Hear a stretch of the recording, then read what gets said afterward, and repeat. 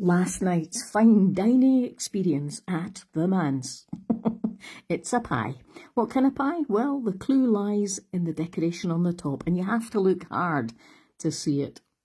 What's true of pies is also true of life. What lies at the very heart of life is something that we can miss. Life's filling should be happiness and wholeness and love and friendship and all sorts of good things. Instead, we let other things seep in there, other things that are pleasant and not so. We are given various ingredients in life and it's up to us to do what we can with them. But we do have the help of a God who promises to stick with us in whatever life brings, to make life really, really tasty for us. And what about the pie? What's inside it? Can you see the chicken? And can you see the wee porky pig in the bottom right hand corner? It's a chicken and ham pie.